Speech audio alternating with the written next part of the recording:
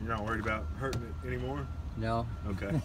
it's yours. You, you can do what you want well, to. it's going to get rebuilt anyway.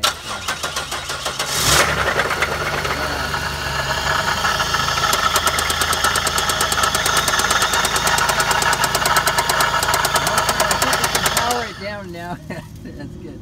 All right, so we had a bunch of stuff done to this uh, this 3800. Here's our guys here to help us work on it. All right, Shane B here. There's me, and there's Madeline coming up. Do you want me There's lock granny it? that drives this granny car sometimes. yeah, I, I guess we can lock it.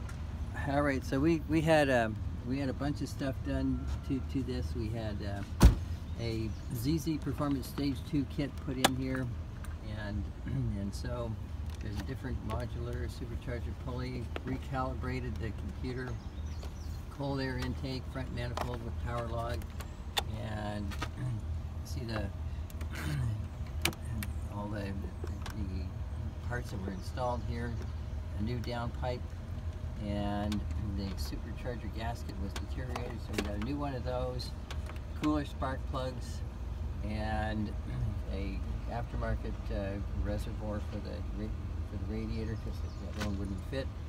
So anyway, once we got all this done, it's got about 195,000 miles on it. She started making some funny noises and the oil pressure dropped, so concluded that there is a rod bearing that is loose and next step we're going to add a bunch more stuff to it since we've got to fix it anyway so we'll keep you posted.